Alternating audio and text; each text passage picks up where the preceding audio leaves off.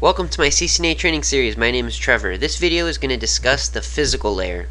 The physical layer is layer 1 on the OSI and the TCP IP updated models. This layer is where the actual connections between devices occur. At this layer, the connection data is referred to as bits. Everything is a bunch of ones and zeros at this point.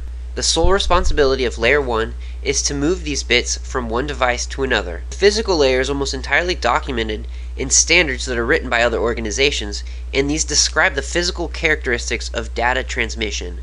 These characteristics include types of cables, connectors, pinouts, voltage, electrical currents, and wire speeds. You should always start with layer 1 physical when you're troubleshooting an issue first.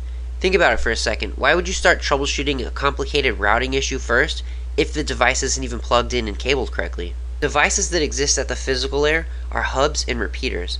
It's an extremely important concept for you to understand that hubs and repeaters, they only amplify a signal. They don't actually segment a network. Every interface off of a hub and repeater are in the same collision domain, so that means that collisions can happen as bits are transmitted between different interfaces on those devices.